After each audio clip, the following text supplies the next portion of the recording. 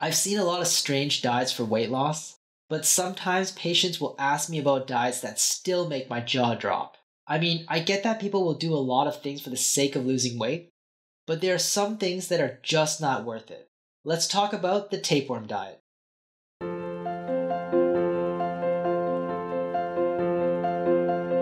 The idea is that you'd infect yourself with a tapeworm by swallowing the tapeworm egg and allowing it to grow inside your intestines. Tapeworms are parasites that attach to the inside of human hosts, then feed off the host as well as any food that passes by. Some people hope that by having a tapeworm living inside of you, any food you eat would be eaten mostly by the tapeworm, resulting in less calories being absorbed into your body and helping you to lose weight. The claim is that you'd be able to eat whatever you want and still lose weight. Fascinating. History of the diet. The tapeworm diet was born out of the Victorian era and its unusual standards for beauty. Back then, tiny waists of 16 inches were desirable, and women wore extremely restrictive corsets to achieve these unnatural results. Weight loss and slimming were achieved by any means necessary. In fact, tapeworm eggs were sold as supplements back then and had advertisements selling these things. The standard for beauty back then was to look like you had tuberculosis. Pale skin, dilated eyes, rosy red cheeks and lips, and of course a tiny waist. People even took small doses of poison like ammonia to look like that. So it's not surprising when something like the tapeworm diet would come out of a time like that. The FDA has since banned the import and sale of tapeworms. About tapeworms. Tapeworms are a class of parasitic worms that have a life cycle that involves living inside of a host. Tapeworms that infect humans follow similar life stages, starting with an egg being consumed by a host, usually by inadvertently consuming undercooked meat, fish, or food contaminated by fecal matter. The egg passes into the intestines where it penetrates deeply into the mucosal lining. From there, it can migrate to other areas of the body and grow into long, segmented worms, feeding off the nutrition of its host. There are a number of common human tapeworms. Let's go over four of them the pork, fish, beef, and dwarf tapeworm. The pork tapeworm, as the name suggests, is usually caused by eating infected raw pork. Once a human is infected, it normally grows to 2 to 3 meters in length, but can become much larger, sometimes over 8 meters long. The problem is that the pork tapeworm can migrate to other areas of the body once they penetrate the gut lining, causing cysticercosis. In cysticercosis, the pork tapeworm can burrow through the gut lining and find its way into muscles, skin, your eyes, and your brain. In fact, the pork tapeworm prefers to burrow into brain tissue, with infections causing epilepsy, seizures, and blindness. It's pretty nasty. The fish tapeworm, usually caused by eating raw or uncooked fish, grows even longer, with an average of 10 meters in length. Fish tapeworm infections can sometimes cause heavy immune responses and cytokine reactions due to the massive amount of eggs that fish tapeworms release into the stools, around 1 million eggs per day for one worm.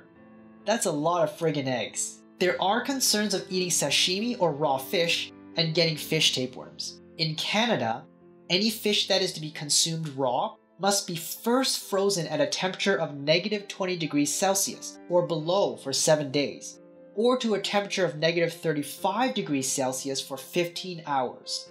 This process kills any tapeworm eggs or larvae.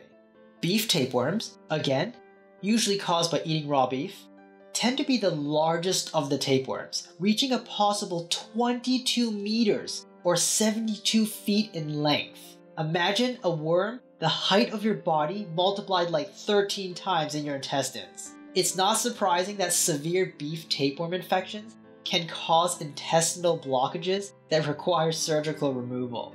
The dwarf tapeworm, usually found in the stools of infected rodents, mice, or bugs, tend to be the smallest of the human tapeworms, reaching only about 4 cm in length. It commonly infects children living in unsanitary conditions. Side effects the pork tapeworm can cause cysticercosis, resulting in hard nodules under the skin and neurological damage. However, mild fish, beef, and dwarf tapeworm infections can be mostly asymptomatic.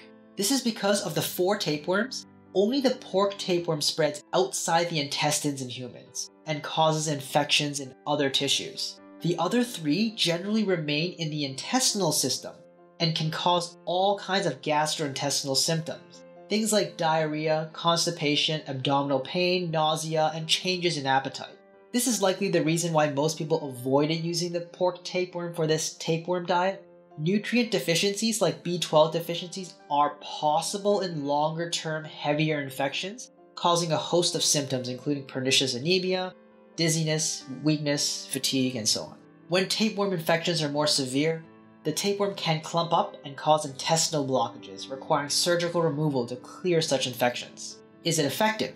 Theoretically, it should cause weight loss. However, finding actual evidence of the effectiveness of the tapeworm diet is quite difficult.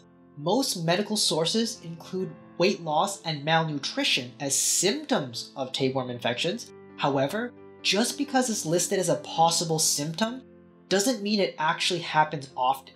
Additionally, there are documented case reports of tapeworm infections leading to no changes in weight, or actual increases in weight gain, due to the tapeworm causing increased appetite and hunger in victims.